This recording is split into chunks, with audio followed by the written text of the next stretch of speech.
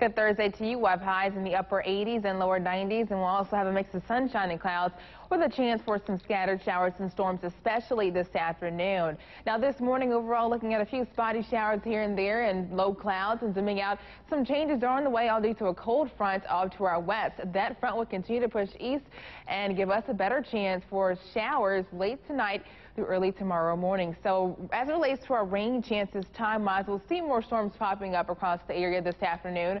Late tonight, we'll notice a line of showers and storms stretching from Arkansas to Louisiana. We'll see the activity getting closer to the Mississippi River around midnight, and those showers will push closer to the Jackson metro area, mostly between 3 and 5 o'clock tomorrow morning. Now, as these storms move through, we could see some gusty winds and some locally heavy downpours, but the main threat for severe weather will stay out to our west, throughout Arkansas and Louisiana, and we'll see those showers tapering off late tomorrow morning, giving way to blustery and dry conditions Friday evening. So behind that front, looking at a fantastic forecast just in time for the weekend on Saturday, starting out the day with a low of 50 degrees and only topping out with a high of 75. And look at early Sunday morning, waking up to readings in the upper 40s with highs reaching the lower 80s.